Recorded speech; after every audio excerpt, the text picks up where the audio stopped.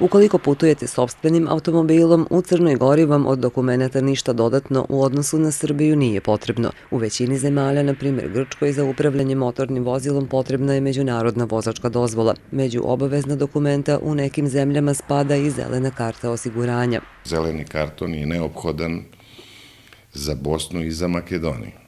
Dozvolu za upravljanje tuđim automobilom takođe izdaje Automoto Save Srbija. Pored dokumenta neophodno je imati svu potrebnu opremu u kolima. Prva pomoć, rezervne sjelice, vatrogasni aparat, e, rezervni točak, dizalica, ključ, naduvanost guma u svim pneumaticima, normalno i u rezervnom točku. Pre polaska ja prvo oteram kod majstora da mi on to sve sredi, da li je sposoban da ide ili nije. Vodim računa zato što vozim ja i vozim i deca i trudim se da bude ovaj, ispravno. Od opreme sve po, po propisu saobraćan što treba zakon što nalaže. To je pod obavezno, to se ne, ovaj, ne pravi pitanje, ali to je osnov. U stvari, to je moj život a ono što bi obavezno pred duže putovanje, pod kojim se podrazumeva 500 km u jednom pravcu, trebalo uraditi jeste kompletan tehnički pregled. Počeši od, od signalizacije, svetlosne grupe,